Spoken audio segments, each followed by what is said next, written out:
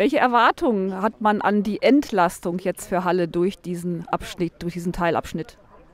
Also Entlastung insbesondere ja durch den Lkw-Verkehr, der ja schon seit Jahren aus Halle herausgehalten wird, der aber jetzt ja an der Anschlussstelle Künsebeck abfahren musste und dann durch den Ravenna-Park, Tatenhausener Straße und hier über die 782, die Tenhausener Straße dann.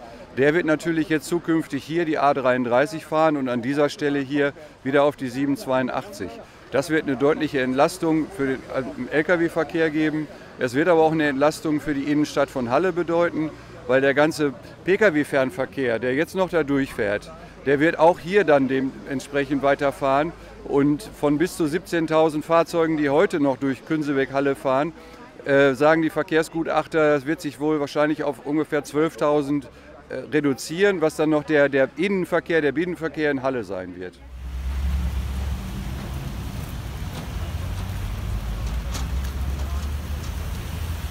Frau Rodenbrock-Wesselmann, mit welchen Gefühlen, welchen Erwartungen stehen Sie hier heute auch bei der Eröffnung des ersten Teilabschnitts, muss man ja sagen, für Halle?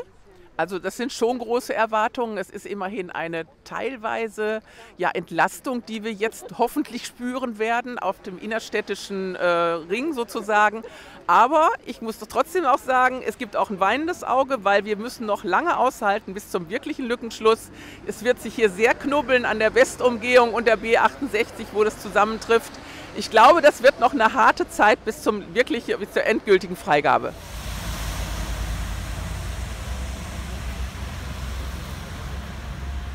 Herr Adenauer, Sie sind ja auch ein Verfechter der A33, auch des schnellen Lückenschlusses, stehen jetzt hier zum zweiten Mal innerhalb von zwölf Monaten bei einer Freigabe, diesmal eines Teilstücks. Welche Bedeutung hat das für Sie?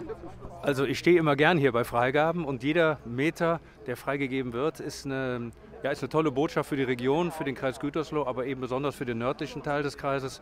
Ich freue mich riesig und das Ganze hat eine außerordentliche Bedeutung, weil jetzt bin ich auch sicher, dass Ende dieses Jahres der Lückenschluss endgültig kommen wird. Ja, das auch, aber diese Dinger reflektieren ja auch so. Herr Wüst, Sie sind heute auch zum zweiten Mal innerhalb von zwölf Monaten auf der A33 im Kreis Gütersloh. Welche Bedeutung hat denn für Sie dieser Teilabschnitt, äh, der jetzt hier heute in Halle eröffnet wird?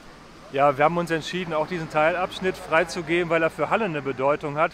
Allein durch diese 5,4 Kilometer wird Halle entlastet um bis zu 5000 Autos am Tag. Und äh, das ist dann schon auch wert, dass man so ein Teilstück alleine freigibt. Treffen wir uns denn in diesem Jahr nochmal auf der A33, wenn dann auch an anderer Stelle, sprich, wird der Lückenschluss geschafft?